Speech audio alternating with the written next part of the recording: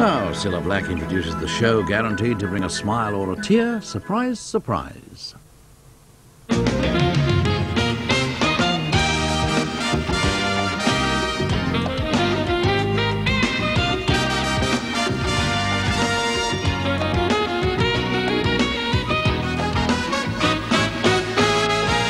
Ladies and gentlemen, Miss Cilla Black.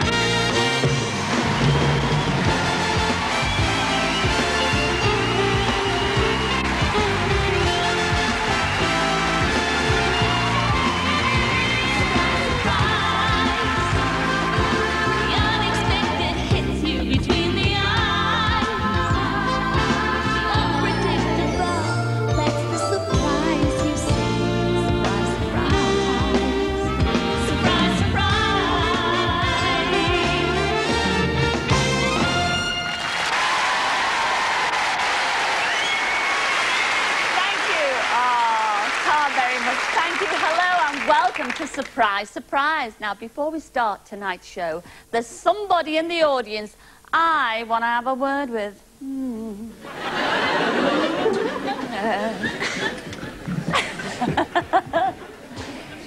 yes, surprise, surprise, it's you, Brian Murphy. Now, Brian, I'm ever so upset about this because this is your girlfriend Shelley sitting next to you, is that right? Yeah. Yes.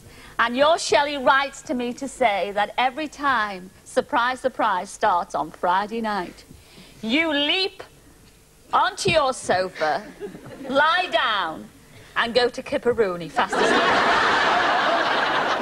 yes. You see, is that right, Brian? Yeah. Brian, I'm cut to the quick. In fact, my quick has never been so cut up in my life. Shelley, you've tried everything. Yeah, you have to wake him up. What have you done, Chuck? Thrown cushions at him, Thrown cushions at you, Brian. uh, put water on him. Put water on him. And nothing's worked. No. And you're still snoozing away. Brian, how could you do that to me, sweetheart? Every day. Every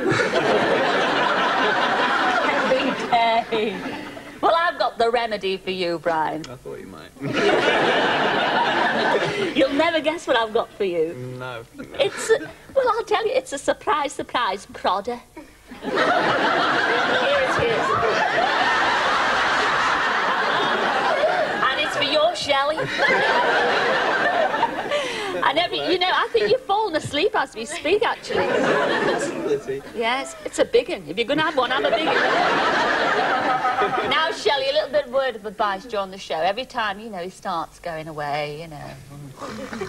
Just give him a little prod like that. Anywhere you like. And if that doesn't work, get him there like that. All right, Shelley, so this belongs to you. Keep it during the show. And anybody else, if he falls asleep, you will tell me, won't you, gang? Very much, sweetheart. All right, Brian? Okay. Nobody. No, I'm keeping it there. At least until I introduce this next item. Because now it's time to find out what our Bob Carolgees has been up to. The last I heard, he was trying to enlist the help of a Cape Crusader. John Black from Belfast is a serious and respectable financial consultant. That's when he's at work. Away from work, he's Batman. He's been known to carry his Batman ID card and even change into his Batman T-shirt in the middle of a meal in a posh Chinese restaurant. John would dearly love the opportunity of acting out one of his hero's nation-saving exploits. Right now he's in his office awaiting a client. That client is me, his dynamic partner, Robin. Jumping Jupiter Carolgees, we're late. This is really John I'm looking for. John Black. Hi, John. Surprise, surprise. How are you? No, thanks. you look slightly surprised. I know he already. Oh, good. Well, that makes a change, doesn't it? Anyway, we've got a bit of a problem. We need your help. You see, John, we need a Batman. And it's very, very important that we can have a Batman, that we should have a Batman. And I've heard that you're ideal for the job because you are, in fact, Batman. So, Batman, or should I say Bruce Wayne? I need your help with a very urgent problem. It's all right. Is that all right? So you're coming with me right now because everyone's waiting for you back at the Wayne Mansion. Come with me. On a peaceful Sunday morning, millionaire Bruce Wayne and his youthful ward, Dick Grayson, are relaxing. Wooga-hoof-de-moof-noof. Suddenly, the telephone rings. Yes? Yes? Yes, yes? Yes? Yes, yes? Yes. That was the police commissioner. No. Yes. Scotland Yard need our help. No, no. Yes, yes. Naval villains at large in London. Striking turn with the hearts of the population. Master criminal still in the world supply of fish fingers. Holy mackerel. Who would do such a thing? It's only one evil person enough. Only one evil person enough. Only one person evil enough. Go again, Jones. The penguin. Right first time. This is a job for Batman and Robin. If only they were here. Batman to airport. Red alert. Prepare Batjet for immediate takeoff. Let's go.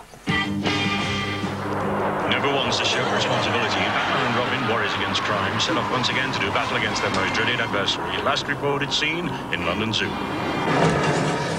The Batmobile, Robin. I've got my car.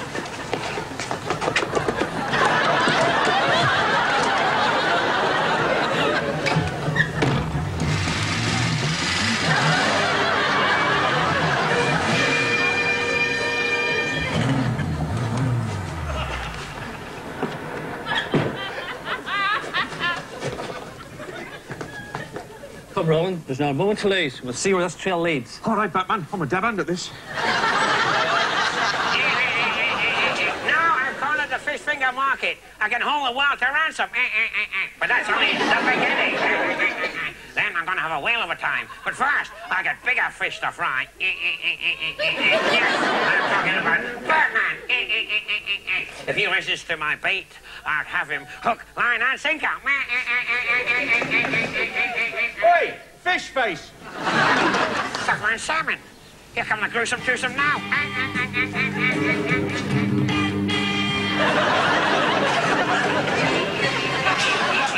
Not so fast, my fishy friend. Beep,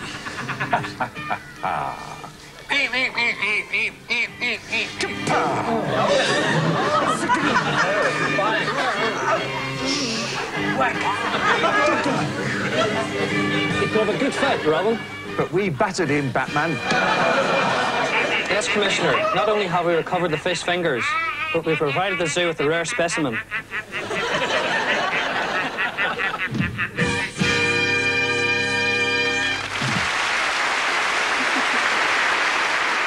And here's our intrepid hero in the audience, John Black. And it's also our very big thanks to Sylvester McCoy for being a p- p- p- p- perfect penguin.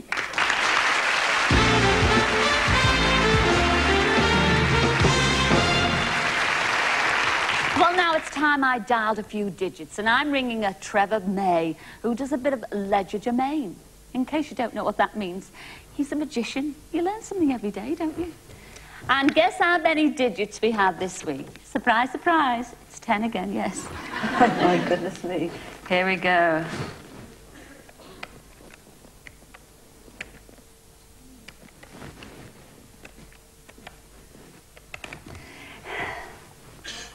What? Stop it.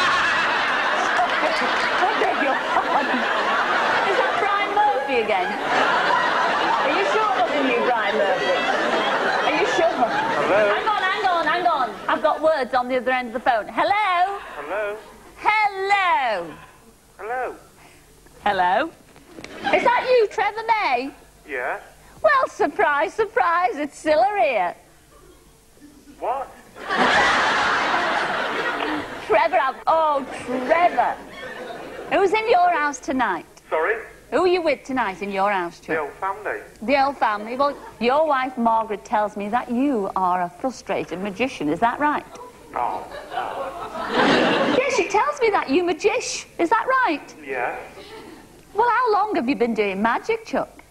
Um, since I was about six. Oh, I think you've been doing it much earlier than that. We've got a lovely picture of you here as a baby. Ah, and Where the even hell did you get that from? from your dear wife Margaret. And looking by that, judging by that photograph, I mean, you were still little fingers up the sleeve there. You still had something up your sleeve from an early age. Is that right? Speak to me, Chuck. yes, I, I, I just Um, gobsmacked, as you would call it. You certainly are gobsmacked. And your wife, Margaret, I know an awful lot about you. She says you talk about magic all day long and all night. Now, what's so special about magic? Come on, sweetheart, tell me. well, it's interesting. It's, uh, if you see somebody do it on the television, it's interesting to try and work out how they've done it. What's all that noise in the background? Shall tell you, Trevor, you're actually on the television now. What? Oh, yes, you are. And another thing, let's get back to your magic, because Margaret tells me you practice an awful lot in front of the mirror. Oh, yes, yes, I did. In fact, to use your Margaret's words, she says he's always playing with something in front of the lounge mirror. Playing with something? Yes. Yes, I, got, yeah, I'll explain that. It's either cards, coins, uh, and silks or something like that. Well, apparently your favourite trick, your speciality, is the, the hollow elbow. Is that right? Uh, yes, it's more of a kiddish trick, but you'd be surprised how many adults that I can confuse with the hollow elbow. Ah, Willow well, Alf taught me that at the club. Well, Trevor, surprise, surprise, I want you to confuse grown-ups and children alike on next week's show. And surprise, surprise, will you do that with your hollow elbow trick? Not on television, surely. Oh, oh yes. You don't have to do it in front of a mirror anymore. You can do it in front of millions, Trevor. Well and truly stitched up tonight, haven't I? Yes, you have. Now, the burning question is, are you going to come on the show next week? Next week? Yes. Yeah, okay then. Oh, any, anything for a, for a laugh, yeah, sounds really good. Uh, make, make sure you have a bottle of brandy there, won't you? We'll have anything you like after the show. After the show. After the show. But Oh, before, you know, you've got to have, you know, your elbow steady to do the disappearing trick. Now, tell me, what are you going to say to your wife, Margaret, when you put this phone down from me? Kill her. Well, don't kill her before next week. Bring her along to the show as well. Will you do that? I never thought this would happen, ever happen to me. Oh, well, They're so- ro- they're, make it clean, Trevor. uh, so I'll get my own back with the Beatles about. Oh, you will? well, you're coming on Surprise, Surprise next week, and we look forward to it. All right, Trevor? Thank you very much, Cilla. Ta-ra then. Bye for now. Ta-ra for now. Ta-da.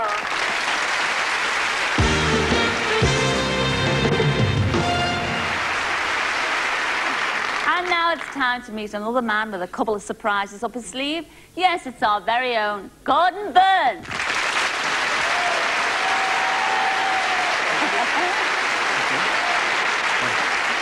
Hi, Gordon. Hi, Who's looking for who this week? Well, the first story uh, we begin with is a very good example of the great British entrepreneurial spirit. Back in the 1930s, school friends Bernard King and Douglas Cater from Epsom would scour the local golf course for lost balls and sell them back to the golfers. Indeed, business was going with a swing until, I suppose you could say, a birdie came along in the shape of 14-year-old Joyce Hawkins from Chessington. She and Bernard began courting, and the golf ball business was bunkered. They became inseparable, not just Joyce and Bernard, but Joyce, Bernard, and Douglas. It seems that everywhere the happy couple went, Douglas went too. And that would even have continued all the way up to the altar, but alas, Douglas was prevented from being the best man for the wedding in April 1942 by the RAF, who had posted him off to Canada for pilot training. The newlyweds, Joyce and Bernard King, went to live in Hanwell, Middlesex, and didn't see Douglas again until 1945. Later, Joyce and Bernard moved to Farnborough and completely lost touch with Douglas. But he'd been such a happy part of their lives that they named their son after him. Sadly, seven years ago, Bernard died, but Joyce still remembers the old days, and Douglas Cater in particular. So, Douglas, former close friend of Joyce and Bernard King, if you're watching, please call us and make Joyce's day. Now, sit up straight, arms folded, and listen carefully, because it's back to school next. Uh, For me, that's a long time ago, but for Vicky Archer, it's just 1977. Here's her class at Atwell School in Birmingham when she was five. Vicky's the blonde who is circled on the left, and the other one we featured is her freckly-faced friend, Susan Lane, and she's the person we're trying to find. Now, of course, about 18 years old. Vicky and Jane first became friends when they were at nursery school, age three. But in 1979, Vicky's family moved to Dunstable in Bedfordshire, and although Susan did visit for a week and apparently had a super time, contact was lost about two years later when Vicky's letters suddenly weren't answered anymore. The last address Vicky had for Susan was 11 College Street, Hockley, Birmingham. Well, 10 years have passed, and Vicky's now at art college, but she's still very keen to find Susan again. So, Susan Lane, once of Atwell School in Birmingham, please contact us because there's a lot of catching up to do. Now, from out of Africa, or to be more precise, Nigeria, we've heard from Olatunji Okuboyejo, Tunji for short, thank goodness. He told us that he was born in Britain in 1964 and spent the first five years of his life with Kathleen and Ernest Taylor and their three daughters in Hartford North. Here he is at six months old with Kathleen. Tunji's parents lived and worked in London, but they visited him frequently. However, in 1969, they all returned to Nigeria and lost touch with the Taylors. Tunji has very fond memories of his time with Kathleen and Ernest and has tried to trace them through a friend in England. But so far, all he's managed to discover is that they are believed to have moved to Peterborough. Now, Tunji is getting married in August and would love to re-establish contact before then. So Kathleen and Ernest Taylor, please call us. Could be a wedding invitation on the way. Finally, Pam Collard from Bury in Lancashire would love to get in touch with Lance Corporal Norman Butterworth, who's also from Bury. He's an old army friend of her father, Frank Woods, and served with the Welsh Regiment in Holland during the war. Norman last visited Pam's family in 1945. So here's the searchline number if you can help with any of tonight's stories 071 222 8070. Well, I shall be back later with more of Searchline, but right now it's back to Sue. Thanks a lot, Gordon. See you later. All right, love? And you've just heard that last item from Gordon was on behalf of Pam Collard, who was actually sitting in our audience tonight. Where are you, Pam, sweetheart? Give us a wave. Well, Pam, I have to tell you, a marvellous coincidence. We had a letter about, oh, about maybe two or three weeks ago from another Collard, a Denise Collard. Now, I think she's your daughter, is that right? Well, I think you better come down here. I'll explain more fully. Come and join me, please, Pam.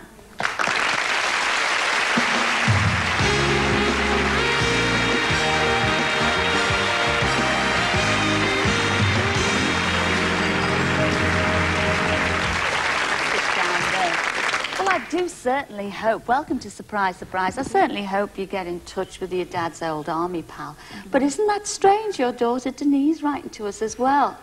I mean, it's got nothing to do with the old army pal, but in some ways it's very, very well connected. She writes and tells me that, oh, way back in 1944, in fact, your, your father was killed in action, wasn't he? And uh, you were, well, you were very young at the time. How old were you? Just a baby? Four months. Four months old. And I know your mother wanted to bring your dad home for a proper burial in mm. England, but money was very, very tight then. Mm. And in actual fact, he was buried in the war graves in, in Holland. Is that right? Mm-hmm. But she really was desperate to find out where, and she happened to get in touch with a lady in Holland by the name of, well, we both know the name, Toos Koonin mm-hmm. or Kernin. And in fact, Toos not only found your father's grave, but she also tended it and looked after it. And Denise tells me that all over these years, you've often wanted to go over to Holland to thank To- for all the hard work she's put into looking after your dad's grave. Well, surprise, surprise. Too's here tonight. We found her. And you can thank her in person. Here she is. Come in, Toos.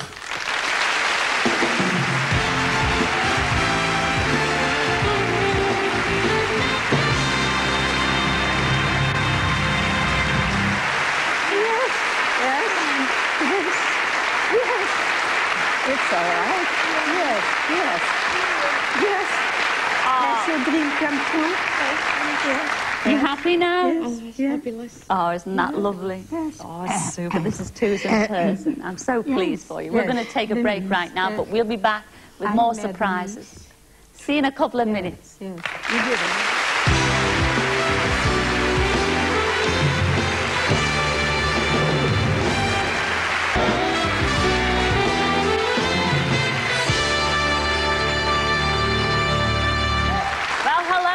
Welcome back. Now, I've had a letter from Arthur and Eileen Slater telling me all about the multi-talented Fred Pring, who lives in Woking. Now, Fred has spent most of his life entertaining others. He's a semi-professional musician, singer and ventriloquist. And for many years, he organised and judged talent shows for young entertainers. Now, he's well known in the area as MC for the Young Stars. That's a road show Fred started up about 20 years ago. Now, over the years, the young stars and Fred have often performed at local old folks' homes and raised a lot, a lot of money for cancer research. Well, now it's Fred's turn to be entertained. And less than an hour ago, our Bob Carolgees went off to Woking to give Fred the surprise of his life. Well, sir, I'm standing outside the Goldwater Lodge in Woking. Fred actually thinks he's coming here to have his photograph taken with the commemorative plaque he made for a friend. But he's wrong.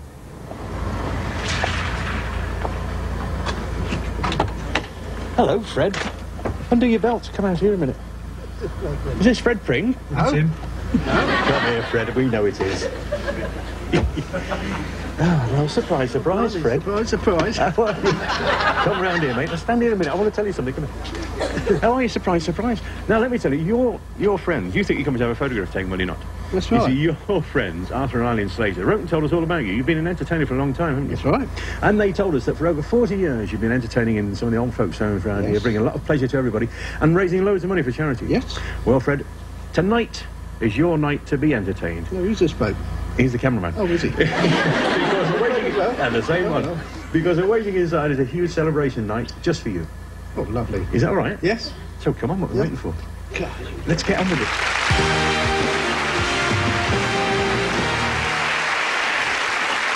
Back later to see how Fred reacts to the surprises we've got in store for him. But right now, it's time to welcome back our lovely Gordon Burns with another Searchline.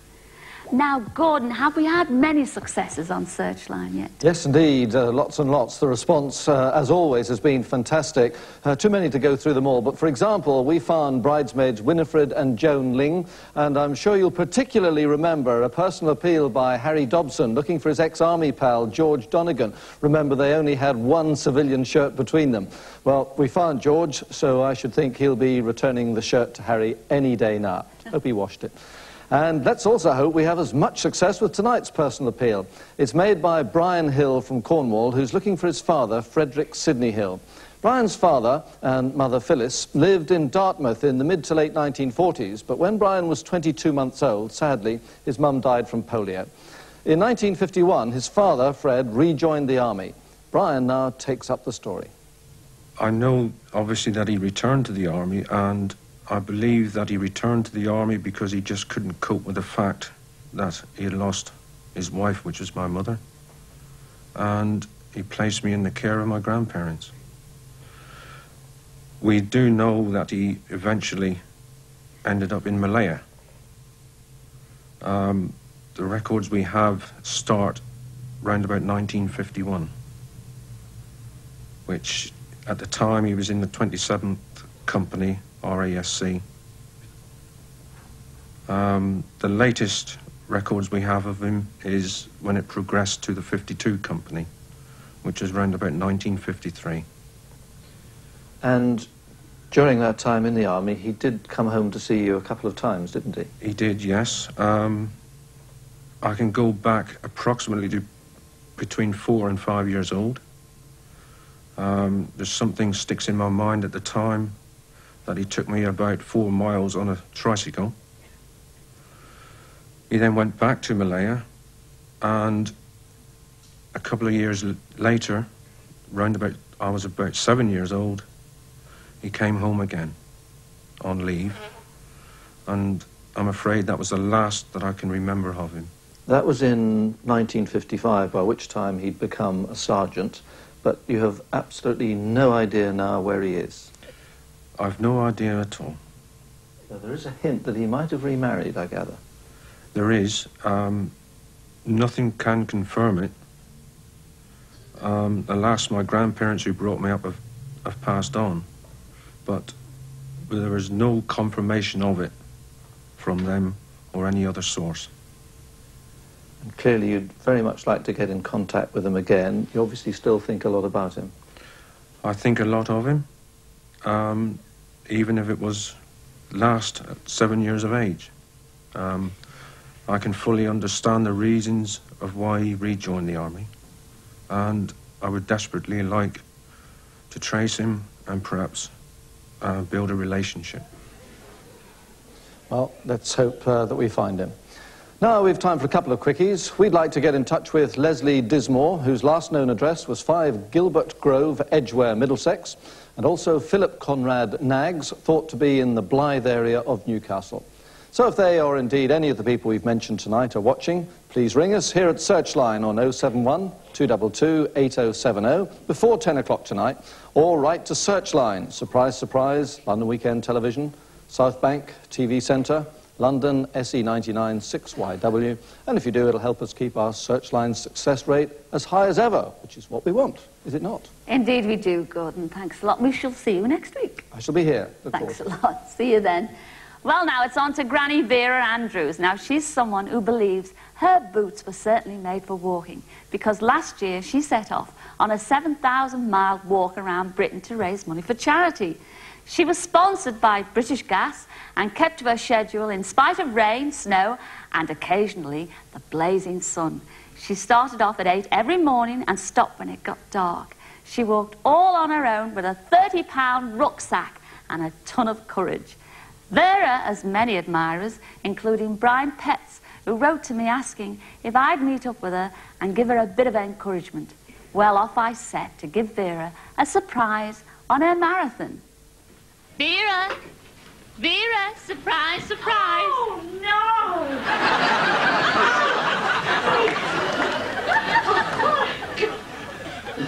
You're right, too. Yeah, I can't. Why can't you believe it? Oh, look, Wibber. Well, you should have met many people on your travels because you are a very footloose and fancy-free person, aren't you? I am, yeah. In fact, for almost 12 months, you've nearly covered nearly 7,000 miles, haven't you? That's Chuck? right, I have. How many miles do you walk a day? Um, averaging about 20 miles now and 26 just a marathon a day in the summer. Oh, isn't that lovely? Well, we all think you're brilliant because you do this all in a very dear cause to your heart. You raise thousands and thousands of pounds for hospices all over the country, don't you, Right. Chuck? For every local hospice in the country will benefit from the walk.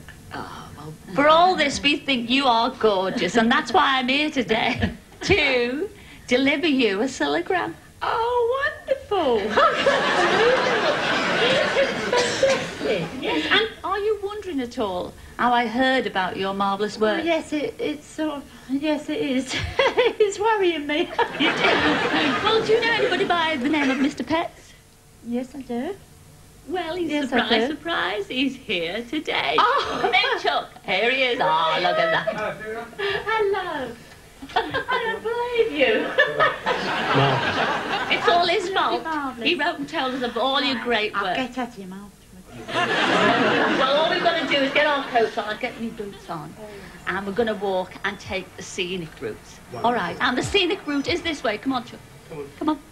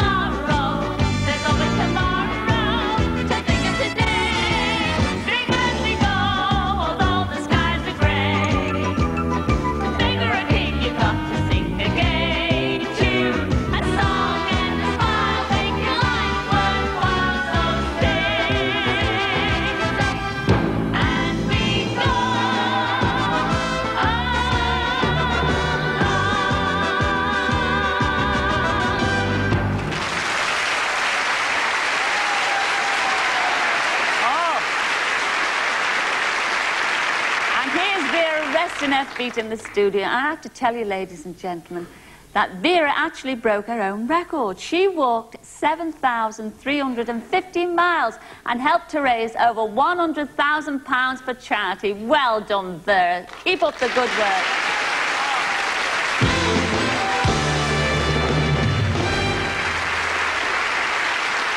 Well, it's time now to whiz over to our outside broadcast cameras at Woking and join our Bob live to see how Fred's enjoying his surprise night out so far. Are you there, Bob?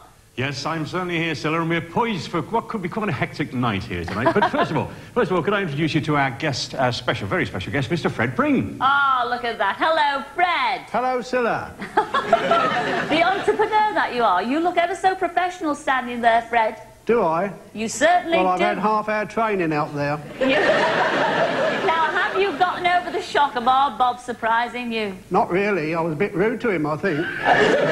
You weren't rude. You act as normal surprise persons do. And they haven't stopped, have they, surprises yet, Bob? You've got lots more for him. Absolutely right, sir. And to join in the celebration uh, tonight, we've got sets of faces, actually, that Fred will be very familiar with.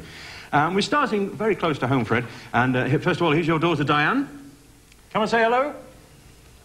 Oh, look at that. And we've also got uh, your granddaughter, Fiona, and her father, Tony. Hello. Where am I going? Hello. And your brother-in-law, Bill Jones, and sister-in-law, Joan Spring. God. Spring. Hello, Bill. What's your name? Hello, brother. Isn't that Always nice? calls me brother.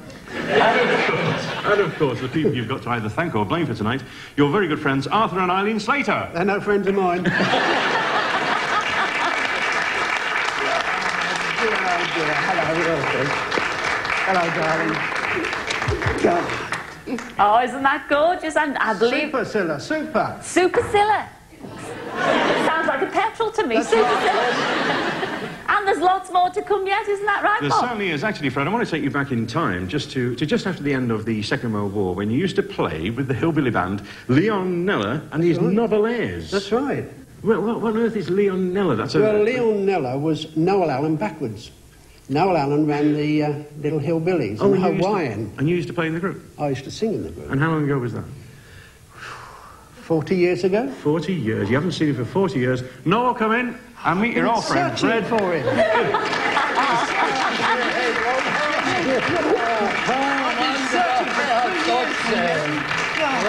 Put yourself forward a bit, Noel, if you would. Oh, Fred. Now Look you... at Cilla, look. Look at Cilla now. Hello, Noel.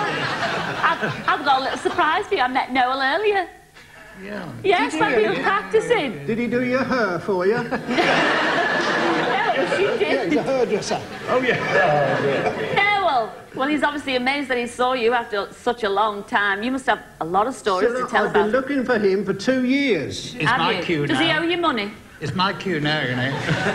Do you remember the camp we went to? In Borden. Yeah, Crookham, Borden camp. Crookham, Crookham camp. Crookham, uh, Crookham as well. Where the uh, Dutch government and their army were leaving England. Do you remember? Yes, Everybody had a lovely Yes. bottle of Whatever it champagne. was, yes, whatever it Yes, was. and we were the only two that were Sober. sober. That's right. No, I'll tell you something. I won't make sure. I'll make sure it won't going to happen tonight. Oh. All right. Thank you very much indeed. Isn't that lovely? You can have a chat with him later on. But anyway, the studio have got to leave us right now. We're going to carry on with surprises for you. So we'll see you shortly, Cilla. We certainly will. I shall look forward to that, Fred. All right. Goodbye, Cilla. See, no, not goodbye. See you later. Yes, okay. All right, love. Ta-ra then. Ta-ra.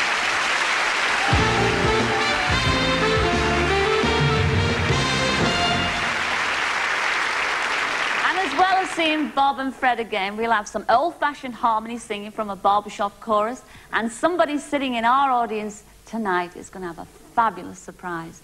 So see you in a couple of minutes.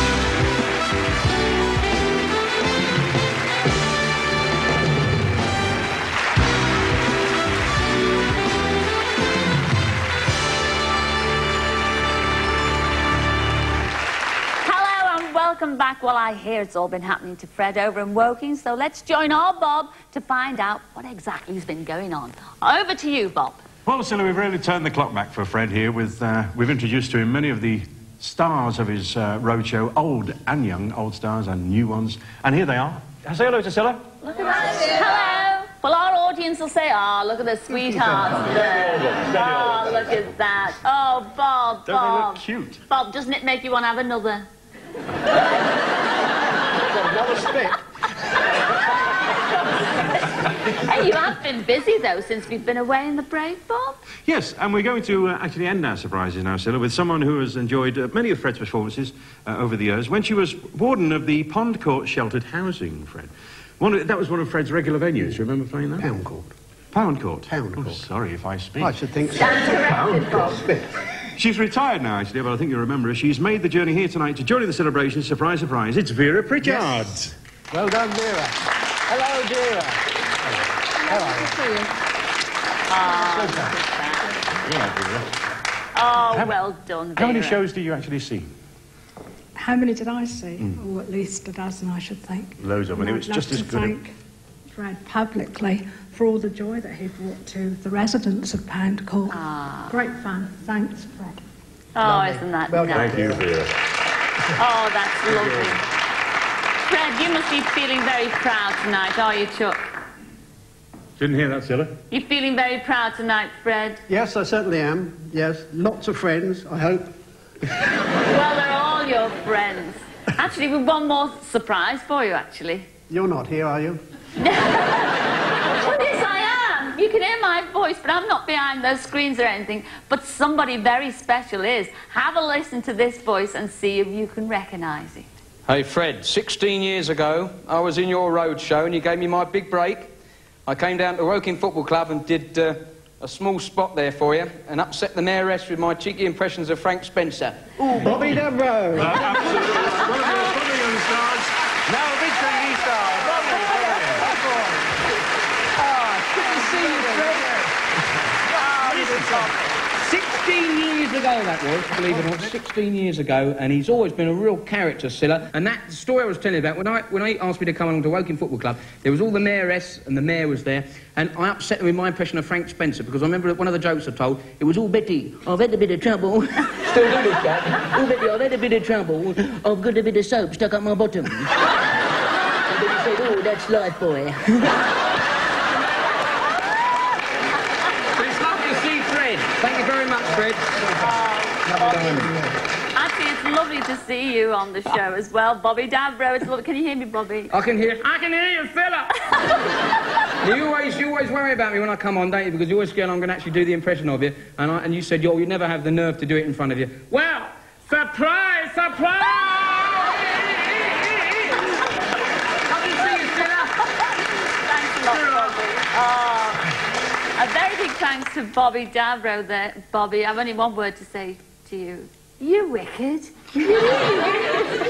Lovely with it. Fred, have you enjoyed your evening? Yes, lovely. And we've got one little surprise for you as well. Not another one. Yes. Oh, you seem fed up, Chuck. Are you fed no, up? no, no, no, I don't think this will stand it. No, no, it will stand it, but this is a nice one because all your performance tonight, and especially Bobby here, I think Bobby Davro's been. The icing on the cake for you, I think. We've videoed the whole show for you, so you can take it home and watch it to your heart's content. Is that ah, all right? Thank you very much. We let you carry on with your celebrations, Fred, all right? Three cheers for Fred. Hip hip. Hip hip. Hip hip. Well, everyone's got a lot to talk about here, Cilla, so see you next week for a. Yes. Have a drink on me, all right, gang? Cheers, Cilla. Tra then, tra Bobby, tra Fred.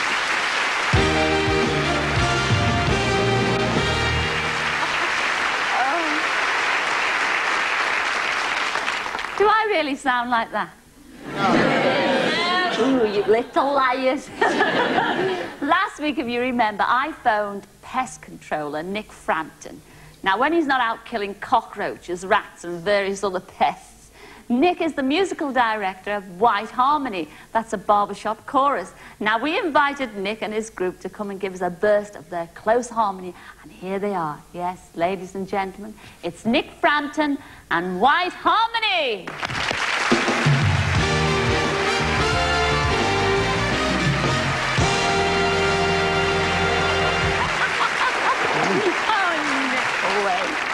oh, what a fine figure of a man you are then. Thank you, Cilla.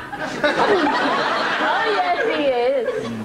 Actually, you don't look anything like a pest control. I mean, you look as if you wouldn't even hurt a fly, never mind a rat. It's, it's very difficult. That's what you do I, for a living. I shed tears sometimes over it. yeah. Oh, what a shame. Well, you do a very worthwhile job. And you're going to do a worthwhile job tonight because you're going to sing for us. We certainly are. By the way, what song are you going to sing? We're going to sing a song called Whatever Happened to Mary. Do you know it? In a word, no. Well, what we decided to do, we're going to do our own special version of it. Guess, Super. and we've And? altered the title. Yes. And guess what it's going to be? I can't think. Well, surprise, surprise. Oh. It's Whatever Happened to Cilla. Before the nose job, do you know? oh, really? Well, that, that sounds very charming And we've got me. another surprise for you as well. Oh, no, not another yeah, one. we'd like you to help us with the song. Oh, but I'm sorry, I don't know whatever happened to Mary or Cilla or Aggie from the baggy. I don't know. You'll, you'll know this story. It's a lovely story about a lovely lady. And all you have to do is just listen to the story and just act it out. Oh, yes. Sounds easy. It's as clear as mud to me. well, I said I could do it when I wrote in for the job. All right, you start. Great. And I'll act.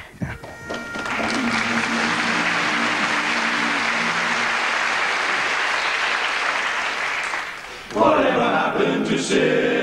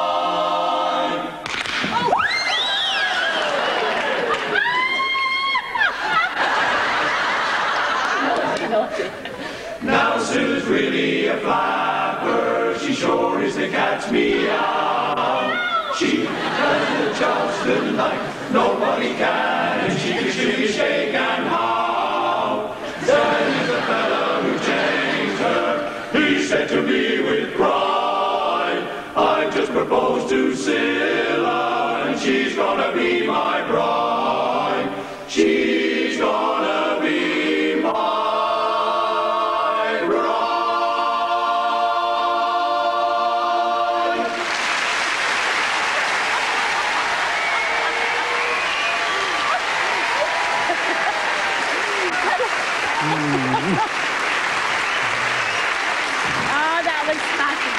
Ladies and gentlemen, a very big hand, big, big hand for our Nick and White Harmony. Thanks a lot, lads. That was absolutely super.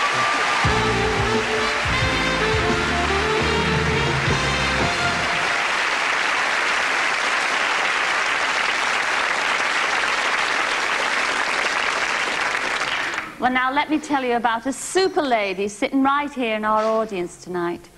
She has six children, and she's virtually brought them up all on her own. Yes, surprise, surprise. It's you, Shirley Reed. Where are you, Shirley? Shirley, give us a wave. Come and join me, please,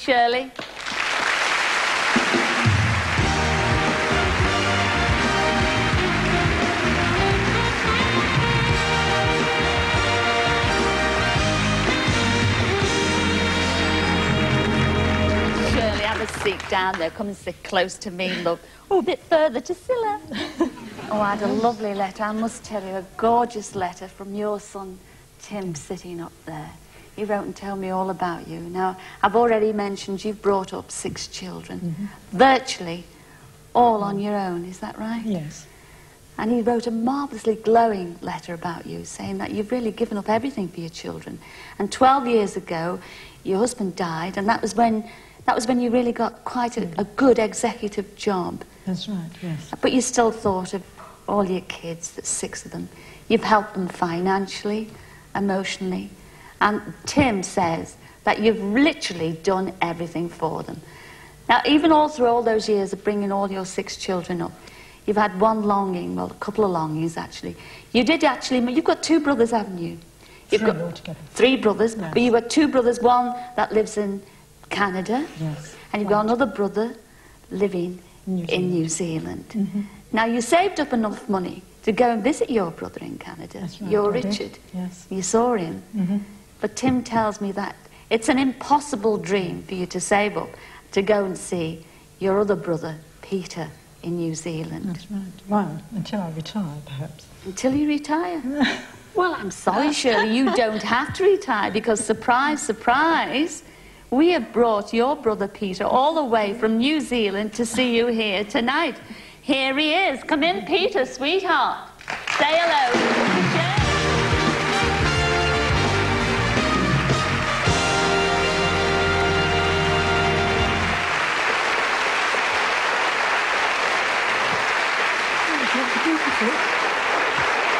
Don't cry.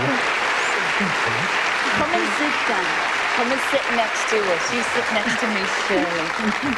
And there's Peter there, all the way from New Zealand. And don't they look alike, ladies and gentlemen?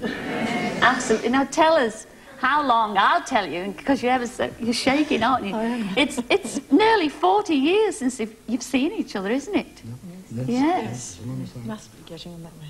And what about? I know you've, you've you've seen your brother Richard in Canada, but what about you, Peter? How Yeah. long is it since you've seen your Richard in Canada? 40 years. 40 years. Well, surprise, surprise, you're going to see him tonight as well. He's travelled all the way from Canada, this lovely Shirley. Come in, Richard.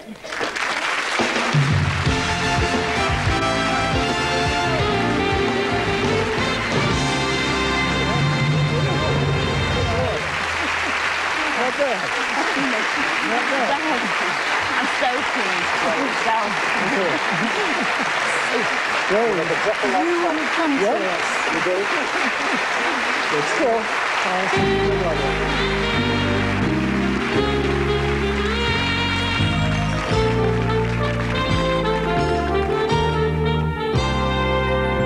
more the world is changing, the more it stays the same. Life is full of small surprises. It's a never-ending.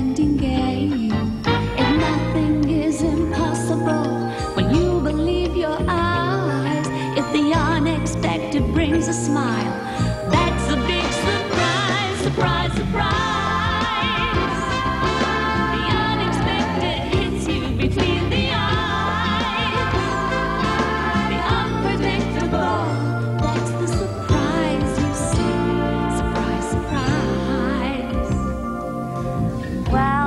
the clock says it's time to go again. And I'd like to say a very big thank you to everyone who's taken part in tonight's show, especially our Gordon Burns and the lovely Bob Carolgees. We'll be back at the same time next week with lots more surprises. So until then, ta-ra then. Ta-ra!